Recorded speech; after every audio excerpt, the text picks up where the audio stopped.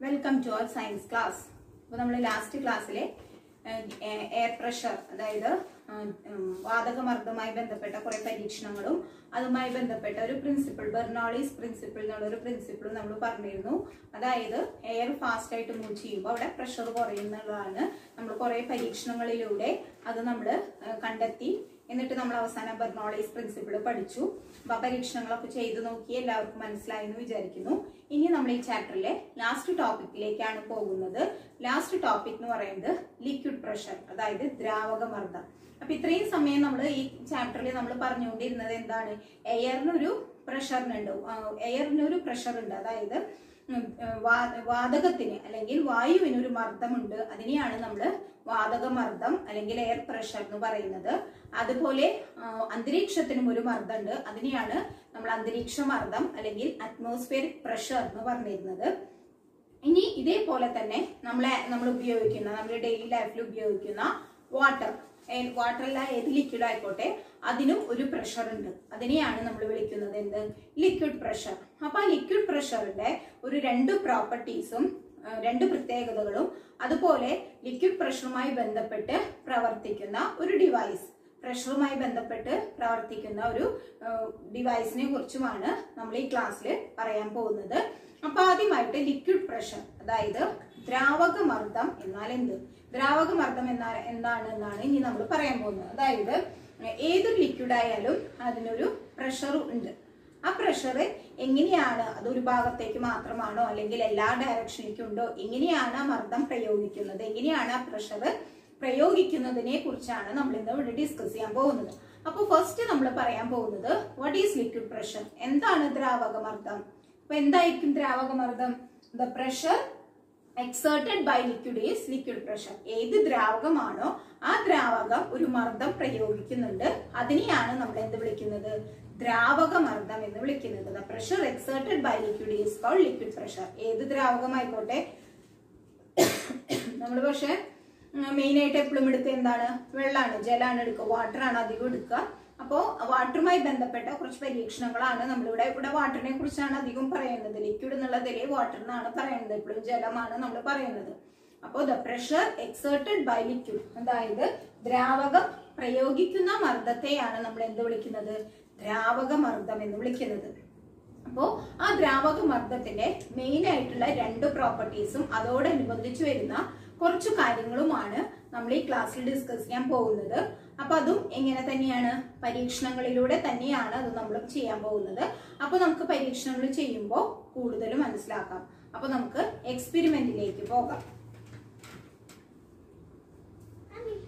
അപ്പൊ നമ്മൾ ആദ്യത്തെ എക്സ്പെരിമെന്റിലേക്ക് പോകാണ്. ആദ്യത്തെ എക്സ്പെരിമെന്റ് എന്ന് പറയുന്നത് എന്താണ് ലിക്വിഡ് പ്രഷർ എന്ന് പറയുന്ന ഒരു എക്സ്പെരിമെന്റ് ആണ് അറിയാനായിട്ടുള്ള ഒരു എക്സ്പെരിമെന്റ് ആണ്. അപ്പൊ നമ്മളൊരു ബോട്ടിൽ കുറച്ച് വാട്ടർ എടുത്തിട്ടുണ്ട് വെള്ളം എടുത്തിട്ടുണ്ട്. അതിലേക്ക് ഞാൻ ഒരു പോളിത്തീൻ ബാ- ഒരു പോളിത്തീൻ ഇതാണ് കവറാണ് ഞാൻ കൈമ വെച്ചിട്ടുണ്ട്. ഞാൻ കൈമിട്ടുണ്ട് ഞാൻ ഈ വെള്ളത്തിലേക്ക് ഈ കൈ ആക്കാൻ പോവാണ്. അപ്പൊ ഇതിലേക്ക് ആക്കുമ്പോൾ തന്നെ എനിക്ക് ഒരു ഫോഴ്സ് ഇവിടെ ഒരു പ്രഷർ അനുഭവപ്പെടുന്നുണ്ട്. അതായത് ഒരു ബലം പ്രയോഗിക്കുന്ന പോലെ എനിക്ക് തോന്നുന്നുണ്ട്. എന്നിട്ട് ഞാൻ ഇത് എടുക്കുമ്പോൾ ഈ നോക്കിയാൽ അറിയാം ഈ പേപ്പർ മുഴുവൻ എന്റെ ഈ കൈയിന്റെ അവിടേക്ക് ഒട്ടിപ്പിടിച്ചു. ഈ പോളിത്തീൻ പേപ്പർ മുഴുവൻ ഈ കൈമേലേക്ക് ഒട്ടിപ്പിടിച്ചു. എന്താ കാരണം? എന്തായിരിക്കും കാരണം? ഞാൻ ഈ വെള്ളം ഇതിൽ ഇതിലേക്ക് എന്റെ കൈ മുക്കുമ്പോൾ ഈ വെള്ളത്തിന്റെ ഉള്ളിൽ നിന്നുള്ള പ്രഷർ വെള്ളത്തിന്റെ ഉള്ളിൽ ഒരു പ്രഷർ ഉണ്ട് എന്ന് പറഞ്ഞല്ലോ ഒരു മർദ്ദം ഉണ്ട് എന്ന് നമ്മൾ പറഞ്ഞല്ലോ. ആ മർദ്ദം ഈ എന്റെ ഈ കയ്യിലെ എല്ലായിടത്തേക്കും പ്രയോഗിക്കുമ്പോഴാണ് ഈ പോളിത്തീൻ ബാഗ് എന്റെ കയ്യിലേക്ക് ഒട്ടിപ്പിടിച്ചതായിട്ട് തോന്നുന്നത്. അപ്പോൾ ഈ ഇതിനൊരു പ്രഷർ ഉണ്ട് എന്നാണ് അർത്ഥം. ഈ ലിക്വിഡിന് ദ്രാവകത്തിന് ഒരു മർദ്ദമുണ്ട്. അതുകൊണ്ടാണ് ഞാൻ ഈ നിങ്ങൾ ചെയ്ത് നോക്കുമ്പോൾ അറിയാം. നമ്മൾ ഈ കൈ ഇതിലേക്ക് മുക്കുമ്പോൾ ഇവിടെ ഒരു ഫോഴ്സ് അനുഭവപ്പെടുന്നുണ്ട്. അതുകൊണ്ടാണ് ഈ പോളിത്തീൻ ഇത് എന്റെ കയ്യിൽ ഇങ്ങനെ ഒട്ടിപ്പിടിക്കാനുള്ള കാരണം. അപ്പോൾ ഇതിനെയാണ് നമ്മൾ എന്ത് വിളിക്കുന്നത്? ലിക്വിഡ് പ്രഷർ അല്ലെങ്കിൽ ദ്രാവകമർദ്ദം എന്ന് വിളിക്കുന്നത്. പ്രഷർ എക്സേർട്ടഡ് ബൈ ലിക്വിഡ് അതുകൊണ്ടാണ് ഈ പോളിത്തീൻ ബാഗ് എന്റെ കൈമ മുഴുവൻ ഒട്ടിപ്പിടിച്ചിരിക്കാനുള്ള കാരണം. നമ്മൾ ഈ കൈ ഇതിലേക്ക് മുക്കുമ്പോൾ തന്നെ നമുക്ക് മനസ്സിലാവും ഒരു പ്രഷർ നമ്മുടെ കൈയുമ്പിലേക്ക് വരുന്നുണ്ട്. ഒരു മർദ്ദം നമ്മുടെ കൈയിലേക്ക് വരുന്ന പോലെ നമുക്ക് അനുഭവപ്പെടും. അതാണ് ലിക്വിഡ് പ്രഷർ അത് എന്തുകൊണ്ടാണ് ഈ വാട്ടറിന് ഒരു പ്രഷർ ഉള്ള കാരണമാണ്. അപ്പൊ എന്താണ് ലിക്വിഡ് പ്രഷർ എന്ന് മനസ്സിലായിണ്ടാവും the pressure exerted by liquid is called liquid pressure ഇത് ക്ലിയർ ആയെന്ന് വിചാരിക്കുന്നു. ഇനി നമ്മൾ അടുത്തത് നമ്മൾ പറയാൻ പോകുന്നത് ഈ ദ്രാവക മർദ്ദത്തിന്റെ ഒരു പ്രത്യേകതയാണ്. അതായത് ഒരു പ്രോപ്പർട്ടി ഒരു പ്രത്യേകതയാണ് നമ്മൾ ഈ പറയാൻ പോകുന്നത്. ദ്രാവക മർദ്ദത്തിന്റെ പ്രത്യേകത. അപ്പോൾ നമ്മളിനി ലിക്വിഡ് പ്രഷറിന്റെ ഒരു പ്രോപ്പർട്ടിയാണ് നമ്മൾ ഇനി രണ്ട് മൂന്ന് പ്രോപ്പർട്ടി പഠിക്കുന്നുണ്ട്. അതിൽ ഫസ്റ്റ് പ്രോപ്പർട്ടിയാണ് അപ്പൊ നമ്മൾ പറഞ്ഞു ലിക്വിഡ് എക്സേർട്ട് ചെയ്യുന്ന പ്രഷറിനെയാണ് ലിക്വിഡ് പ്രഷർ ദ്രാവകം പ്രയോഗിക്കുന്ന മർദ്ദത്തെയാണ് നമ്മൾ എന്ത് വിളിക്കുന്നത്? ദ്രാവക മർദ്ദം എന്ന് വിളിക്കുന്നത്. അപ്പൊ അതുപോലെ തന്നെ അപ്പൊ അങ്ങനെ ദ്രാവകം മർദ്ദം പ്രയോഗിക്കുമ്പോൾ എല്ലാ ദിശയിലേക്കും ഒരേപോലെയാണ്. അതായത് കുറച്ച് ഭാഗത്തേക്ക് കുറവ് അല്ലെങ്കിൽ വേറെ ഭാഗത്തേക്ക് കൂടുതൽ അങ്ങനെ വേറെ വേറെ തരത്തിലാണ് മർദ്ദം പ്രയോഗിക്കുന്നത് മർദ്ദം പ്രയോഗിക്കുന്നതെന്ന് അറിയാനുള്ള ഒരു പരീക്ഷണമാണ് നമ്മൾ ചെയ്യാൻ പോകുന്നത്. അപ്പൊ നമ്മുടെ ടെക്സ്റ്റ് ബുക്കിലെ ഒരു പരീക്ഷണം കഴിഞ്ഞിട്ടാണ് ഞാൻ ഈ പറയാൻ പോകുന്ന പരീക്ഷണം. മറ്റേ പരീക്ഷണം നമ്മൾ പറയാം. അപ്പോൾ ദ്രാവകം എല്ലാവിടത്തേക്കും ഒരേ ഡയറക്ഷനിലേക്കാണോ ബലം പ്രയോഗിക്കുന്നത് അല്ലെങ്കിൽ മർദ്ദം പ്രയോഗിക്കുന്നത് എന്ന് അറിയാനുള്ള ഒരു പരീക്ഷണമാണ് നമ്മൾ ചെയ്യാൻ പോകുന്നത്. വളരെ സിമ്പിൾ ആയിട്ടുള്ള എക്സ്പെരിമെന്റ് ആണ്. അതിനായിട്ട് നമ്മളൊരു കുപ്പി ഒരു ചെറിയ കുപ്പി എടുത്തു പ്ലാസ്റ്റിക് കുപ്പി എടുത്തു. അതിന്റെ അടിഭാഗത്ത് എല്ലാ സ്ഥലത്തും ചുറ്റും ഈ കുപ്പിയുടെ ചുറ്റും ഹോളിട്ടുണ്ട് എന്നിട്ട് നമ്മൾ ഇതിലേക്ക് വെള്ളം ഒഴിക്കുക. അപ്പൊ ഇതിലേക്ക് വെള്ളം ഒഴിക്കുമ്പോൾ എല്ലാ എല്ലാ ഡയറക്ഷനിലേക്കും ഒരേപോലെയാണ് വെള്ളം പോകുന്നത് എന്നാണ് നമ്മൾ നോക്കുന്നത്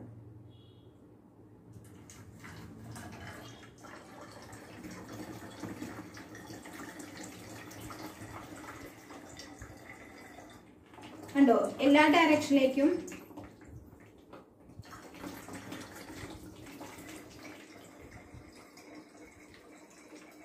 എല്ലാ ഡയറക്ഷനിലേക്കും വെള്ളം പോകുന്നത് ഒരേപോലെയാണ് കണ്ടോ?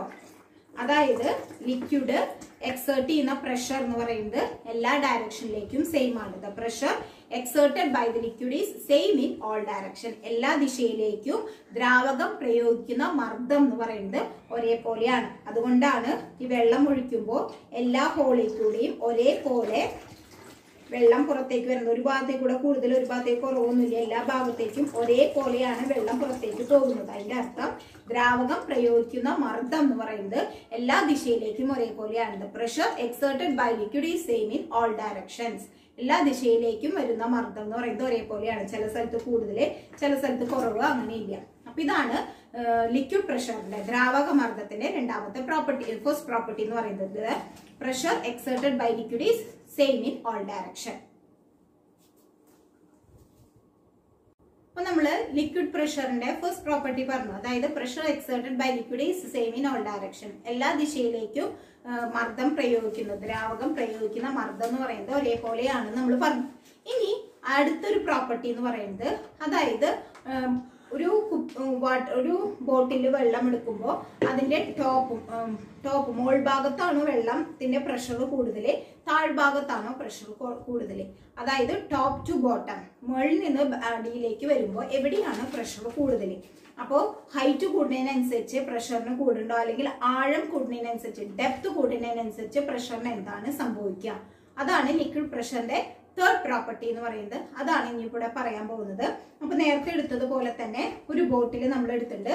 ആ ബോട്ടിലിന്റെ മൂന്ന് ഹോളുകൾ ഇട്ടിട്ടുണ്ട്. മൂന്ന് ഹോളുകൾ ഇട്ടിരിക്കുന്ന ഒരെണ്ണത്തിന് താഴെ ഒരെണ്ണമായിട്ട് മൂന്ന് ഹോളുകൾ ഇട്ടിട്ടുണ്ട്. എന്നിട്ട് ഇതിലേക്ക് നമ്മൾ വാട്ടർ ഒഴിക്കുകയാണ്. അപ്പോൾ ഏത് കൂടിയാണ് കൂടുതൽ ഫോഴ്സിൽ വെള്ളം പുറത്തേക്ക് പോകുന്നത്? അല്ലെങ്കിൽ മൂന്ന് ഹോളിൽ കൂടിയും ഒരേപോലെയാണ് വെള്ളം പുറത്തേക്ക് പോകുന്നത് അറിയാനുള്ള ഒരു എക്സ്പെരിമെന്റ് ആണിത്. നമുക്ക് ചെയ്യാം. ഇതിലേക്ക് വെള്ളം ഒഴിക്കുകയാണ്.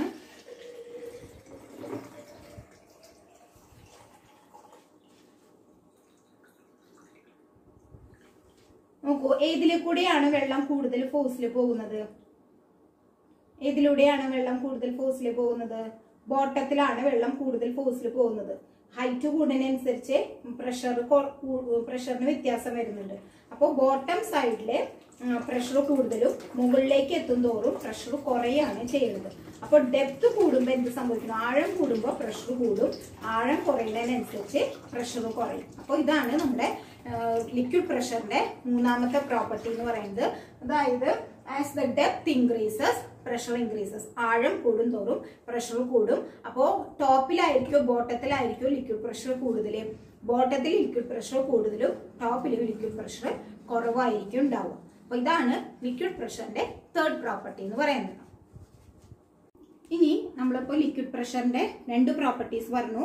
അതായത് എല്ലാ ദിശയിലേക്കും മർദ്ദം പ്രയോഗിക്കുന്നത് ദ്രാവകം പ്രയോഗിക്കുന്ന മർദ്ദം എന്ന് പറയുന്നത് ഒരേപോലെയാണ്. അതേപോലെ ആഴം കൂടുന്നതിനനുസരിച്ച് മർദ്ദം കൂടും. ആഴം കുറയുന്നതിനനുസരിച്ച് മർദ്ദം കുറയും. അപ്പോൾ ബോട്ടത്തിലാണ് പ്രഷർ കൂടുതൽ അപ്പോൾ സാധാരണ നമ്മൾ വെള്ളം തിളയ്ക്കുമ്പോൾ അടിഭാഗത്തു നിന്നാണ് വെള്ളക്കുമിളകൾ വരും. വെള്ളം തിളച്ചു തുടങ്ങുമ്പോൾ അടിഭാഗത്തു നിന്ന് വരുന്ന വെള്ളക്കുമിളകളുടെ സൈസ് എന്ന് പറയുന്നത് വലിപ്പം എന്ന് പറയുന്നത് ചെറുതും മുകളിലേക്ക് എത്തുന്നതോറും അതിന്റെ വലിപ്പം കൂടി വലുതാവും. എന്താ കാരണം? ബോട്ടത്തിലെ പ്രഷർ കുറവാണ് മുകളിലേക്ക് എത്തുന്നതോറും അല്ല ബോട്ടത്തിൽ പ്രഷർ കൂടുതലാണ് മുകളിലേക്ക് എത്തുന്നതോറും പ്രഷർ കുറവായിരിക്കും. അതുമായി ബന്ധപ്പെട്ട ഒരു എക്സ്പെരിമെന്റ് ആണ് നമ്മളിവിടെ ചെയ്യുന്നത്. അതായത് ഒരു ബോട്ടിൽ കുറച്ച് വാട്ടർ എടുത്തിട്ട് ഈ ട്യൂബിലൂടെ ഞാൻ എയർ ഈ ട്യൂബിലൂടെ എയർ ഞാൻ വാട്ടറിലേക്ക് വിടുകയാണ്. അപ്പോൾ ഇതിൽ പോകുന്ന ബബിളിന്റെ സൈസ് നോക്കുക.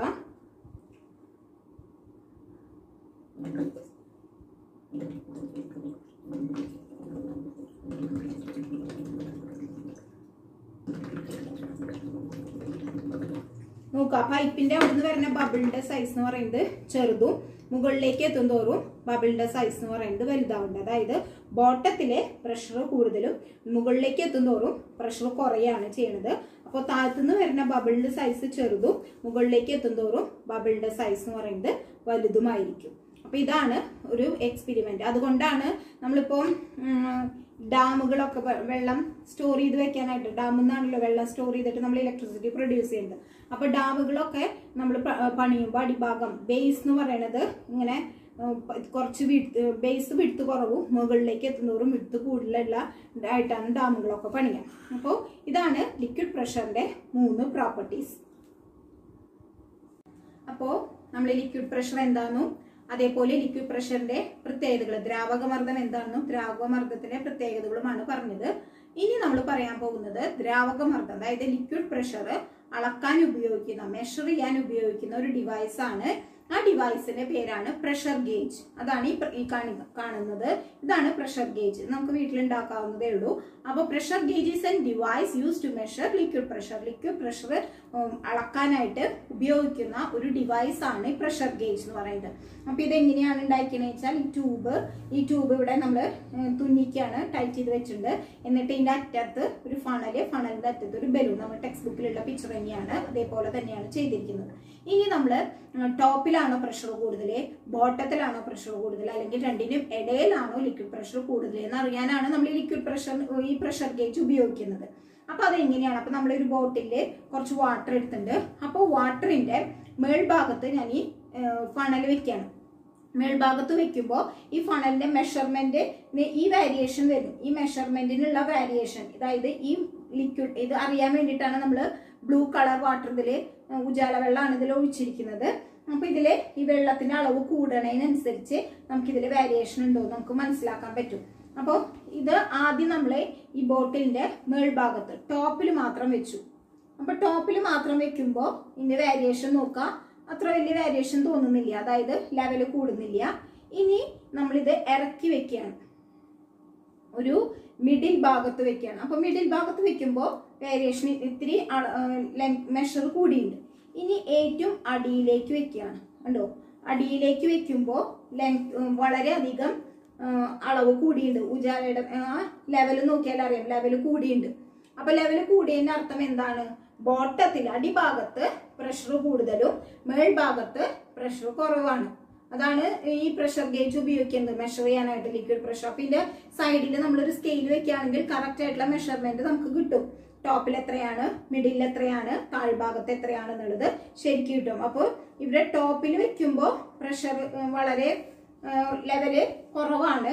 ഇനി നമ്മൾ കുറച്ചും കൂടി താത്തി വെക്കുമ്പോൾ കുറച്ച് ലെവൽ കൂടുന്നുണ്ട്. ഏറ്റവും അടിയിലേക്ക് വെക്കുമ്പോൾ നന്നായി ലെവൽ കൂടുന്നുണ്ട് കണ്ടോ? അപ്പോൾ അടിഭാഗത്താണ് ബോട്ടത്തിലാണ് പ്രഷർ കൂടുതൽ അപ്പൊ ഡെപ്ത് കൂടുന്നതിനനുസരിച്ച് പ്രഷർ കൂടുന്നു നമ്മൾ നേരത്തെ പറഞ്ഞല്ലോ. അപ്പൊ അതിന്റെ ഒരു പ്രൂഫും കൂടിയാണ് ഒരു തെളിവും കൂടിയാണിത്. അപ്പോൾ അപ്പൊ നോക്കുക ഞാനിപ്പോ ഈ കുപ്പിയുടെ ഏറ്റവും അടിഭാഗത്താണ് ഈ ഫണൽ കൊണ്ട് വെച്ചിരിക്കുന്നത്. അപ്പോൾ ഈ ലെവൽ ഏറ്റവും കൂടിയിട്ടാണ് ഇരിക്കുന്നത്. ഞാൻ ഇത് ഈ ഫണൽ പൊക്കുന്നതിനനുസരിച്ച് ലെവൽ കുറയുന്നത് കാണാം കണ്ടോ? ശരിക്ക് ലെവൽ കുറയുന്നുണ്ട്. അപ്പോൾ ടോപ്പിലെ പ്രഷർ കുറവ് മിഡിൽ ഭാഗത്ത് പ്രഷർ കുറച്ച് കൂടും. ഏറ്റവും ടോപ്പിലെ പ്രഷർ വളരെയധികം കൂടും. അതാണ് ഈ ലെവലിംഗ് ലെവൽ കൊണ്ട് മനസ്സിലാക്കുന്നത്. അപ്പൊ ഇതാണ് പ്രഷർ ഗേജ് എന്ന് പറയുന്നത്. ലിക്വിഡ് പ്രഷർ മെഷർ ചെയ്യാനുള്ള ഒരു ഡിവൈസ് ആണ് ഈ പ്രഷർ ഗേജ് എന്ന് പറയുന്നത്. എല്ലാവരും ഇത് വീട്ടിലുണ്ടാക്കി നോക്കുക. അപ്പോൾ അപ്പോ നമ്മൾ ലിക്വിഡ് പ്രഷർ എന്താണ്? ലിക്വിഡ് പ്രഷറിന്റെ പ്രത്യേകതകൾ എന്താണ്? പ്രോപ്പർട്ടീസ് എന്താണ്? അതേപോലെ ലിക്വിഡ് പ്രഷർ മെഷർ ചെയ്യാനുള്ള ഒരു ഡിവൈസിനെ നമ്മൾ പരിചയപ്പെട്ടു.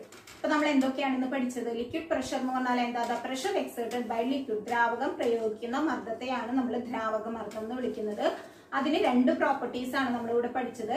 The liquid exerted the pressure in all direction എല്ലാ ദിശയിലേക്കും ഒരേപോലെയാണ് പ്രഷർ എക്സേർട്ട് ചെയ്യുന്നത്. ലിക്വിഡ് എക്സേർട്ട് ചെയ്യുന്ന പ്രഷർ എന്ന് പറയുന്നത് എല്ലായിടത്തേക്കും ഒരേപോലെയാണ്.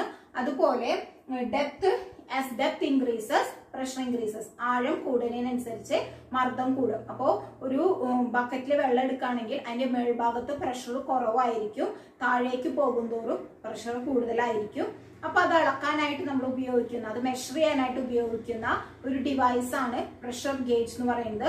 അപ്പൊ നമ്മൾ ഒരു ബോട്ടിൽ വാട്ടർ എടുത്തിട്ട് അതിന്റെ മേൾഭാഗത്ത് നമ്മൾ അതിന്റെ ഫണലിന്മേ ബലൂൺ വെച്ചത് നമ്മൾ വെച്ച് നോക്കി. അപ്പോൾ ലെവൽ കുറവായിരുന്നു. കുറച്ച് അടിയിലേക്ക് ഒരു മിഡിൽ ഭാഗത്തിലേക്ക് വെച്ചു. അപ്പോൾ കുറച്ചും കൂടി ലെവൽ കൂടി. ഏറ്റവും അടിയിലേക്ക് വെച്ചപ്പോൾ നന്നായി ലെവൽ കൂടി. അതിന്റെ അർത്ഥം എന്താണ്? ബോട്ടത്തിലെ പ്രഷർ കൂടുതലായിരിക്കും മുകളിലേക്ക് പോറും തോറും പ്രഷർ കുറവായിരിക്കും. ഇതാണ് ലിക്വിഡ് പ്രഷറിന്റെ വളരെ കുറച്ച് കാര്യങ്ങൾ മാത്രമേ ലിക്വിഡ് പ്രഷറിനെ നമുക്ക് പഠിക്കാനുള്ളൂ. അപ്പൊ ഈ ചാപ്റ്റർ കഴിഞ്ഞു. അപ്പോൾ ഇത് ഇമ്പോർട്ടന്റ് ആണ്. ഈ ചാപ്റ്റർ അധികം എക്സ്പെരിമെന്റ് ആണ്. അപ്പൊ നമുക്ക് പറ്റാവുന്ന എക്സ്പെരിമെന്റുകളൊക്കെ നമ്മൾ വീട്ടിൽ ചെയ്തു നോക്കാം. പിന്നെ ഒരു എക്സ്പെരിമെന്റ് ടെക്സ്റ്റ് ബുക്കിൽ ഒരു എക്സ്പെരിമെന്റ് വിട്ടുപോയത് എന്താന്ന് വെച്ചാൽ നമ്മൾ പറഞ്ഞു liquid pressure exert liquid pressure exert ചെയ്യുന്ന പ്രഷർ എന്ന് പറയുന്നത് എല്ലായിടത്തേക്കും ഒരേപോലെയാണ്. അതറിയാനുള്ള വേറൊരു എക്സ്പെരിമെന്റ് ആണ്. അതായത് ഈ പൈപ്പിലേക്ക് അറ്റത്തൊരു ബലൂൺ വെച്ചിട്ട് വെള്ളം ഒഴിക്കുമ്പോൾ ബലൂൺ വീർക്കുന്നത് എല്ലാവിടത്തേക്കും ഒരേപോലെ ആയിരിക്കും അതിനകത്ത് എന്താ? പ്രഷർ എക്സെർട്ട് ചെയ്യേണ്ട എല്ലാവിടത്തേക്കും ഒരേപോലെയാണ്. ഇനി അതുമ്പോൾ ചെറിയ ചെറിയ ഹോളുകൾ ഇട്ടിട്ട് നമ്മൾ വെള്ളം ഒഴിക്കുകയാണെങ്കിൽ വെള്ളം പുറത്തേക്ക് പോകുന്നതും ഒരേപോലെയാണ്. അത് അറിയാനായിട്ടാണ് നമ്മൾ ബോട്ടിലിന് ചുറ്റും ഹോൾ ഇട്ടിട്ട് നമ്മൾ വെള്ളം ഒഴിച്ചപ്പോൾ എല്ലാ ഡയറക്ഷനിലേക്കും വെള്ളം ഒരേപോലെയാണ് പുറത്തേക്ക് പോയതെന്ന് പറഞ്ഞത്. അപ്പൊ ഇത്രയാണ് ലിക്വിഡ് പ്രഷറിനെ നമുക്ക് പഠിക്കാനുള്ളത്. അപ്പൊ എല്ലാവർക്കും ഈ എക്സ്പെരിമെന്റുകളൊക്കെ മനസ്സിലായെന്ന് വിചാരിക്കുന്നു. അപ്പൊ ഈ ചാപ്റ്റർ കഴിഞ്ഞു. എല്ലാവർക്കും താങ്ക്